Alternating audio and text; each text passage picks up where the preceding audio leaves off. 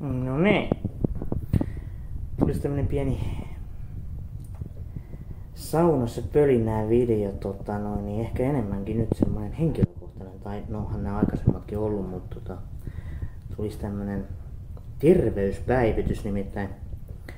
Mä olen nyt ollut tota noin, niin kohta kolme viikkoa, tai no viikonloppu siihen lisättynä, niin joo, kolme viikkoa olen ollut tota noin, niin keuhkoputken tulehduksessa. Mulla on ollut myös kaikkea muita tulehduksia samaan aikaan, oli hampaassa ja kaikkea. Tämä keuhkoputken tulehdus tavallaan niin kuin laukas monia muitakin vaivoja sit samaan aikaan kärsittäväksi. Ja tota, mä oon nyt vasta alkanut, nyt on tosiaan torstai-ilta, niin tänään oikeastaan tuntuu ensimmäistä kertaa semmoiselta, niin kuin voisi sanoa terveeltä.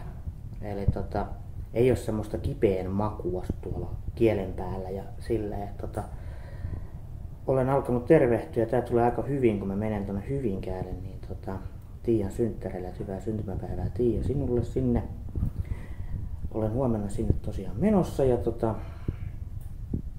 siinä mielessä hyvä sauma onnistu tämä parantuminen, että just tämmöinen niin tärkeä, tärkeä juttu tulee tähän näin, niin on nyt kunnossa. Mähän on nyt säätänyt tuolla ää, kotona niin sitä 10 gigan verkkoa. Ja se on nyt venynyt ihan älyttömän pitkälle ja tänään mä sain itse asiassa sen lopullisesti valmiiksi. Eli tota noin, niin nyt sain nopeudet kohdilleen ja tota, siellä ei enää mitkään, mitkään tota noin, niin, nikit tappelee esimerkiksi DNS ja tällä näin, että ne on nyt kaikki routattu ja, ja disabloitu silleen ominaisuudet sieltä, miten ne kuuluu ja, ja nyt se toimii niin kuin sen todella pitää toimia, koska ne on kahdessa eri verkossa, niin ne vähän niin Linuxissa että Windowsissa niin ne tota, noin, niin asetukset pääs vähän niin kiusaa toisiaan, mutta nyt, ne, nyt, nyt toimii sitten lopulta täydellisesti systeemit. että tota, se vaan vaati sen, että on sen verran kärryillä ja, ja tota noin, niin pysyy siinä kärryillä.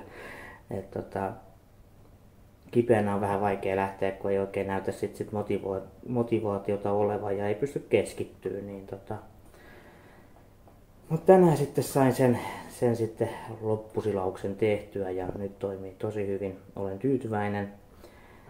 Tähän omaan tilaanikin olen tyytyväinen. Ja ehkä ensi viikolla jo pääsis tonne koululle. Et mun piti itse asiassa ensimmäinen päivä piti mennä sinne. Mutta tota, tää on nyt tää häirinnyt mua niin paljon. Nämä kaiken maailman kipuilut tässä näin, että mä en päässyt sinne. Niin tota, ehkä sitten ensi viikolla lopultakin onnistuu, onnistuu tämä tota noin, niin, tervehtyminen niin hyvin, että pääsisin hommiin.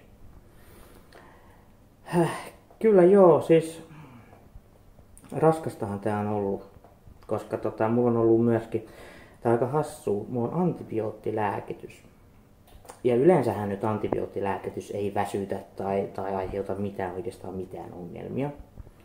Mutta jostain syystä tämä antibiootti, mitä mulla on määrätty, niin tota, se aiheuttaa mulle semmoista väsymystä ja voimattomuuden tunnetta, että mä olen yhdistänyt sen niin kuin, tavallaan siihen lääkkeen ottoon. Et siksi mä en ole nyt niin kuin, oikein pystynyt olla missään, kun, kun se on niin kuin, se kipeystila on siirtynyt siihen väsymykseen. Et voihan se tietenkin olla, että kroppa on vasta niin loppu, että se on taistellut tuolla koko ajan, niin, niin tota, voi olla sitäkin, mutta niin kuin, mä vähän epäilen, että se olisi toi antibiootti kuitenkin, mikä laukaisee tämmöiset, niin kuin, että mä pysyn oikeastaan niin kuin pari tuntia hereillä. Ja sit mä menen joko nukkumaan, tai sit mä oon semmosessa niin kuin zombitilassa, että mä vaan niin kuin katon jotain videoa ja mä en edes sitten vähän ajan kuluttua muista, mitä mä oon kattonut. Et niin kuin, aika, aika hirveä. Se on ollut niin kuin, lähinnä niin tämä viikko on ollut just sitä, että niin kuin, mä en ole vaan pystynyt niin kuin, tekemään mitään. Että mä oon ihan täysin maaten koko ajan. Mutta mut, niin tänään tosiaan ensimmäinen kerta ok. Ja mulla olisi sitä antibioottia pitää ottaa 10 päivää, 10 vuorokautta. Ja mä oon ottanut sitä nyt 6 tai 7 vuorokautta. 7 vuorokautta on ottanut. Ja mä menen huomenna sinne syntymäpäiville ja on siellä viikonloppuun muutenkin niin tota, mä en meinaa nyt sitten enää ottaa sitä lääkettä. Mä tiedän, että antibiootti pitäisi aina, aina syödä loppuun asti, kuuri loppuun asti, mutta tota, mä olen terve ja tota, mä pääsen sinne, niin mä en halua siellä olla niin kuin semmoinen nukkuva, väsynyt, hermostunut ja poissa niin kuin, tavallaan niin kuin maailmanmenosta. Niin mä en, mä en nyt enää sitä lääke... Mä otan ne kyllä mukaan, mutta mut, tota no, niin mä epäilen, että mä en ota niitä. Se on ehkä tyhmä, tyhmä juttu. Mutta kuitenkin puhutaan enää jostain kahdesta vuorokaudesta. Että onko se siitä sitten oikeasti kiinni. Mähän voisin soittaa lääkärille ja kysyä niin kuin varmentaa, että, että koska niin kuin kaikki on oikeastaan nyt normaalilla. Siis se mitä mä tunnen, niin on kaikki ihan ok.